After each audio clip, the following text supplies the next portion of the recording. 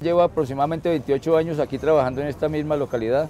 Cuando nos gusta algo y lo hacemos con amor, ese es el secreto de sacar el buen lustre, el buen brillo del calzado. Ese espacio que quedó después de que Bombero se fue de ahí, está bien, me, me encanta o me encanta la idea acerca del punto digital, porque va a haber acceso a la gente en cuestiones de internet, de cómo navegar.